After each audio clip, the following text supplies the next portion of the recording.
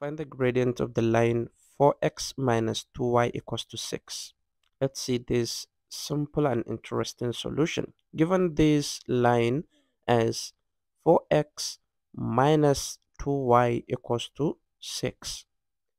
Now let's compare this with this equation ax plus by plus c equals to 0.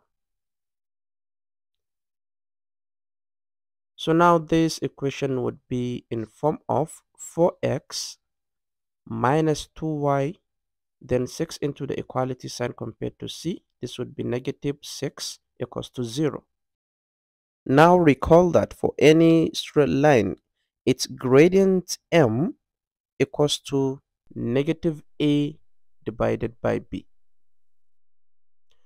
So now let's compare this equation with this equation.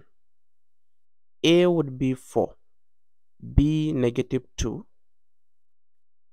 A equals to 4, B equals to negative 2, and also C equals to negative 6.